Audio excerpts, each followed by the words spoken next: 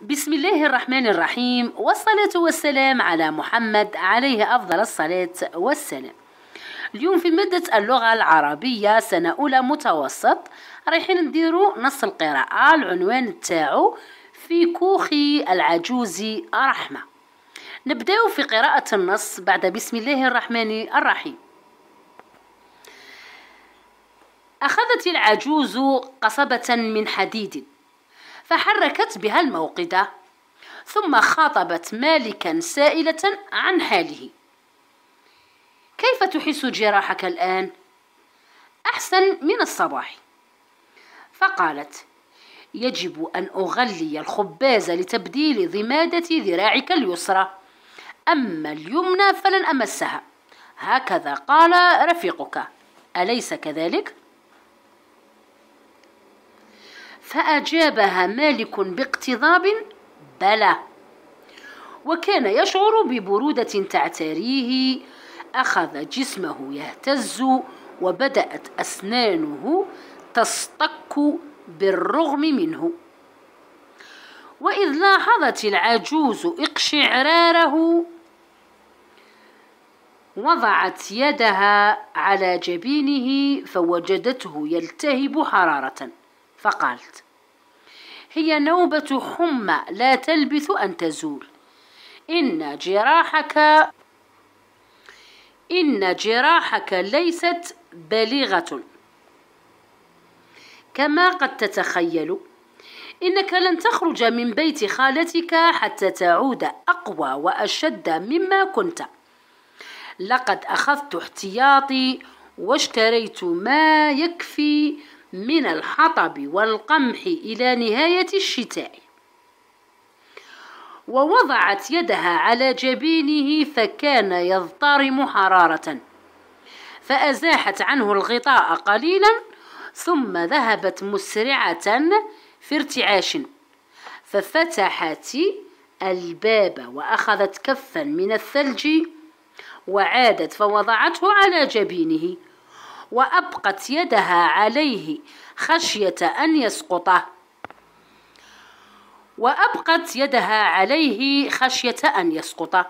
لكن الثلج ما لبث أن صار ماء جاريا على خده وعنقه. وأحس مالك بقطرات ماء وصلت إلى ظهره فقال وهو بين الهذيان والوعي. لست أدري من أين وصل هذا البلل إلى عنقي وظهري. إني أحترق عطشا والماء يجري في عنقي. فقالت العجوز إنه الثلج وضعته على عنقك فذاب. ثم أخذت العجوز الماء الذي غلت فيه عشب الخباز فغسلت به ذراع مالكا.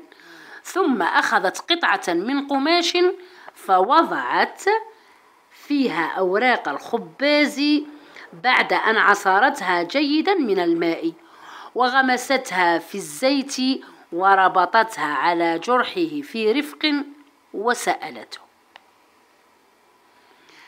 ألم أوجعك؟ وكادت الحمى تزول عنه وعاد إلى وعيه ولكنه كان يحس كأن عظامه تفككت فأجابها بجهد ومشقة. فقالت العجوز الآن تستطيع أن تطمئن على جراحك فالخباز أحسن مرهم ضد التعفن. هذا هو الدرس تاعنا والله هذا هو النص تاعنا تاع نهار اليوم. دوك واش رايحه ندير؟ رايحه نعاود نقرأ هذا النص لكن هذه المرة رايحه نقرأ النص ونشرح بعض المفردات باش نتمكن من فهم النص جيدا.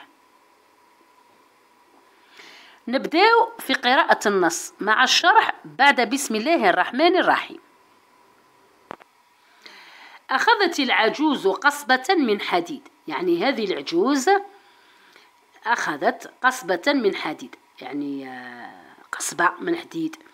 فحركت بها الموقدة. الموقد ثم خاطبت مالكا سائلة عن حاله هذا مالك هو شخص قاعد عند هذا العجوز وكان مجروح.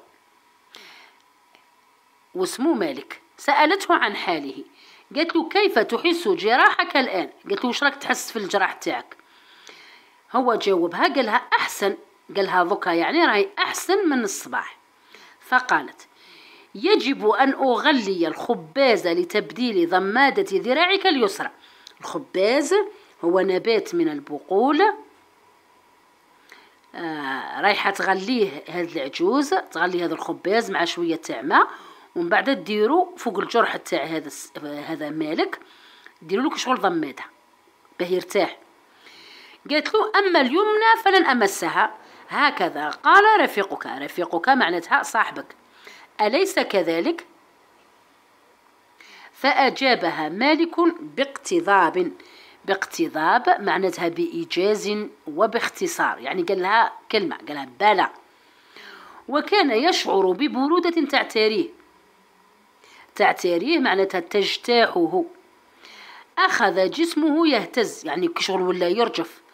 وبدأت أسنانه تصطك تصطك يعني الأسنان تاعو عدو يخبطوا في بعضهم. بالرغم منه. يعني هو حابس وسنيه وحدهم وحدهم يخبطوا في بعضها. وإذ لاحظت العجوز اقشعراره الاقشعرار كشغل جاتو الرجفة الرعشة. وضعت يدها على جبينه الجبين هي الجبهة فوجدته يلتهب حرارة. يلتهب كشغل شعلة فيه النار. درجة الحرارة مرتفعة جدا. فقالت هي نوبة حمى. نوبة النوبة يعني أزمة.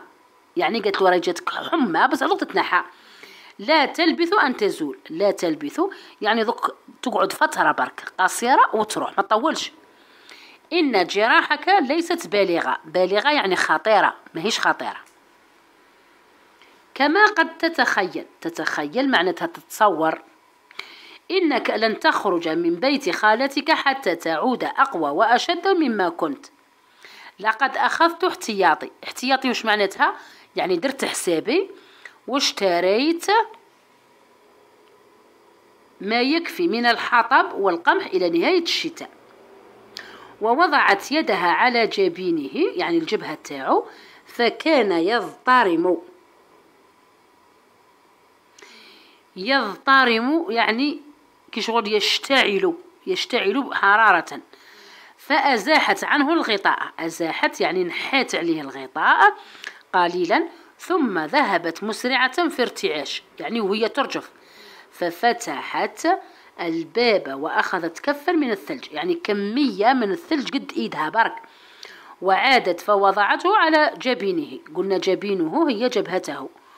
وأبقت يدها عليه خشية أن يسقط. خشية معناتها خوف مخافة أن يسقط. لكن الثلج ما لبث يعني ما لبث ما قعدش ما قعدش آه، بزاف. قال لك وتحول إلى ماء جاري على خده وعنقه الخد نعرفوه والعنق هي الرقبة.